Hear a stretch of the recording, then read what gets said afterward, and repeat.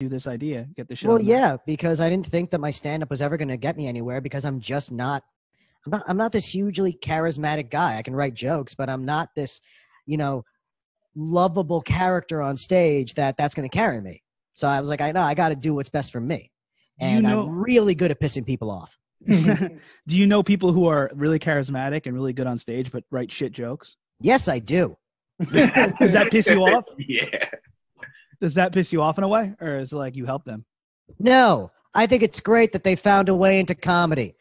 Just because their jokes are bad doesn't mean they don't belong at the top. Can you just just already hurry up and say Chris D'Elia? We already know. No, I'm just kidding. Why? What's going on with him? Why? What- oh,